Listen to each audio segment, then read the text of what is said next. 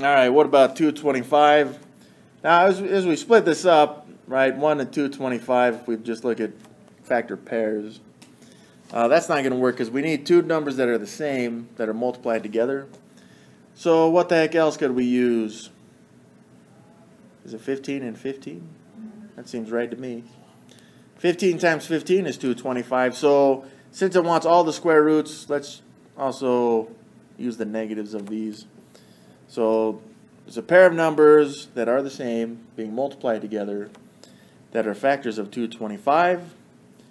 And so we list them out. 15 and negative 15 would be our answer here.